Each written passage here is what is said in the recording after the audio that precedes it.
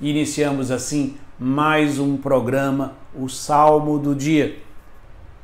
O salmo de hoje é o Salmo 56, 57, que nós vamos ler a segunda estrofe que diz: Lanço um grito ao Senhor Deus Altíssimo, a este Deus que me dá todo o bem, que me envie do céu sua ajuda e confunda os meus opressores. Deus me envie sua graça e verdade. Lanço um grito ao Senhor Deus Altíssimo. O salmista hoje nos aponta para um dos fundamentos da vida de oração, que é o reconhecimento do nosso limite de criatura, da nossa fraqueza, da nossa pecabilidade e também o reconhecimento da grandeza, santidade e perfeição de Deus.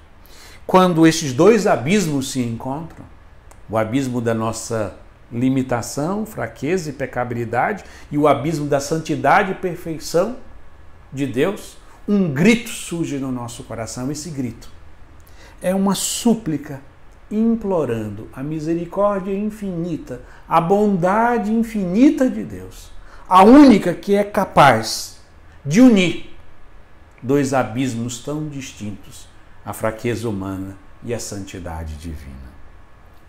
Que no dia de hoje cultivemos reconhecer a nossa debilidade fraqueza, o abismo da nossa limitação, e de reconhecer o abismo da santidade, perfeição e misericórdia divina. Deste reconhecimento que nasce, que surge a oração autêntica no coração humano, que é um grito de socorro àquele que pode nos salvar.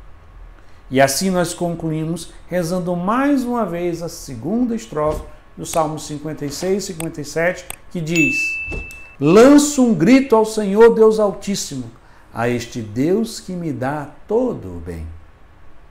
Que me envie do céu sua ajuda e confunda os meus opressores. Deus me envie sua graça e verdade. Amém.